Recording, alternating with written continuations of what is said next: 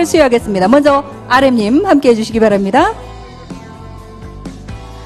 위촉회 방탄소년단 김남준 귀하를 2030 부산 세계박람회 홍보대사로 위촉합니다. 2022년 7월 19일 2030 부산 세계박람회 유치위원장 한덕수, 최태원, 부산광역시장 박형준 고맙습니다. 네. 정말 기쁜 마음으로 함께 손잡아 주셨습니다. 고맙습니다. 이어서 찐님입니다. 위촉회 방탄소년단 김석진 내용 같습니다. 고맙습니다. 함께 해주십시오. 네, 따뜻하게 손잡아 주셨습니다. 이어서 슈가님 위촉회 방탄소년단 민윤기 내용 같습니다. 고맙습니다.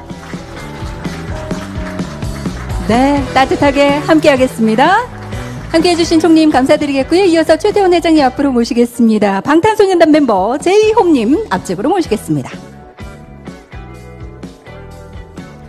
위촉회 방탄소년단 정호석 귀하를 2030 벌써 받으셨네요? 예.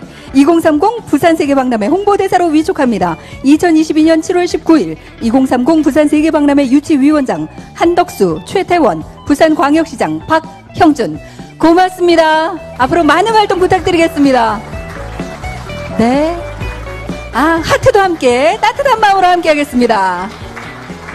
이어서 지미님 앞쪽으로 모시겠습니다. 어서 오십시오.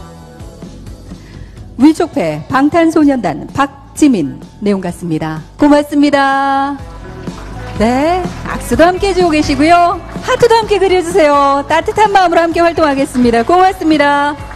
회장님 감사드리겠고요. 이어서 박형준 시장님께서 위촉회 수여해 주시겠습니다. 비님 앞쪽으로 모실까요? 어서 오십시오. 위촉회 방탄소년단 김태형 귀하를 2030 부산세계박람회 홍보대사로 위촉합니다.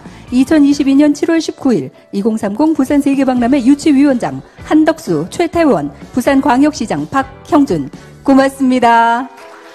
네, 열심히 뛰어주십시오. 우리 부산을 위해 함께하겠습니다. 작은 하트 크게 사용하겠습니다. 고맙습니다.